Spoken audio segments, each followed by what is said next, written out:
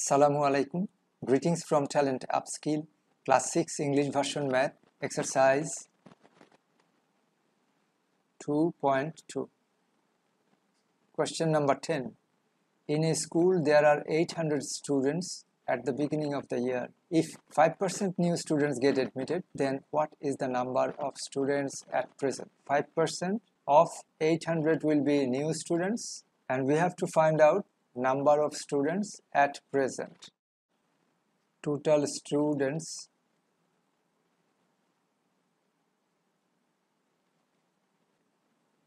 total students before new admission.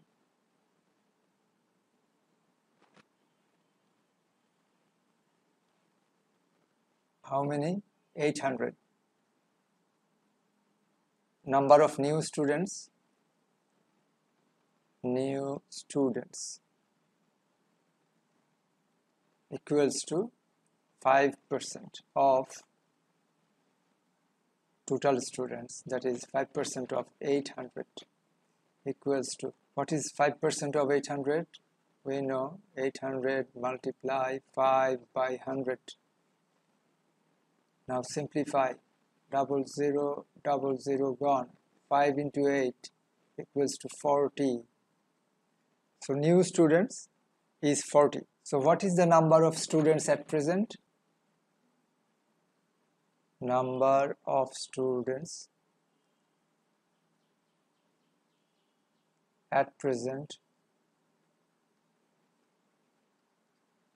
equals to 800 plus 40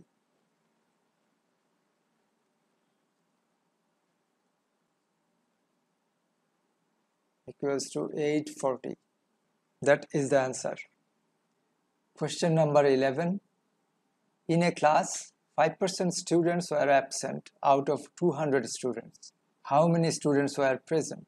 So total students in class were 200 and 5% of 200 were absent. This is very easy. So absent students, if we know the number of absent students, we can find out how many students were present. So absent students equals to 5% of 200 5% of 200 equals to 200 multiply 5%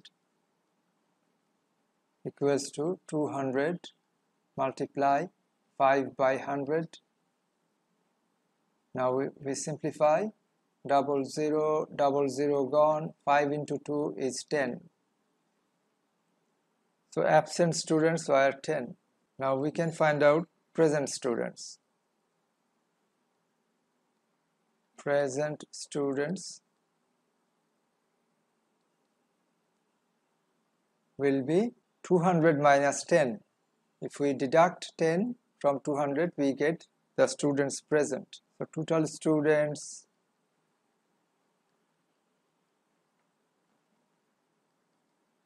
minus absent students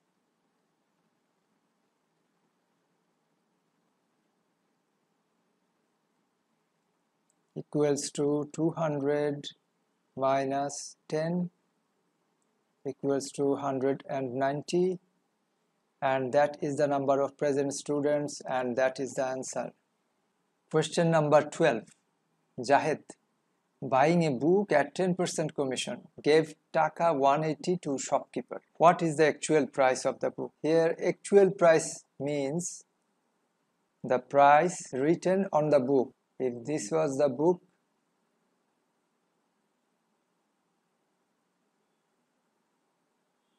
the price written here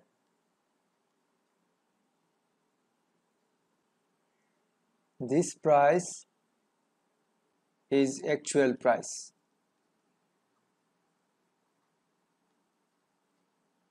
Let actual price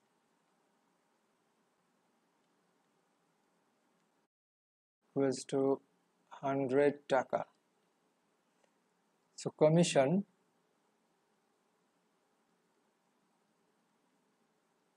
commission equals to 10% of 100 taka. Means 100 multiply 10% 100 into 10% means 100 multiply 10 by 100 equals to.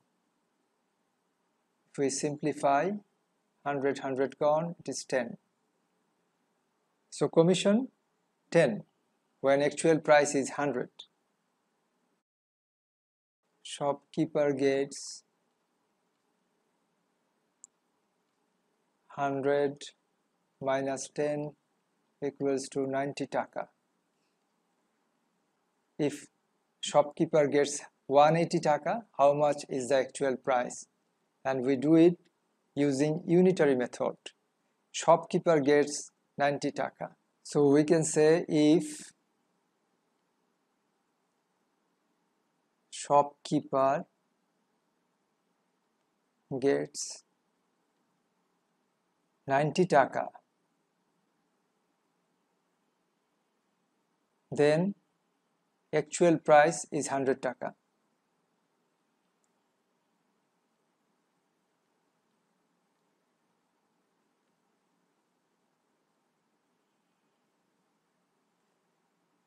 if shopkeeper gets 1 taka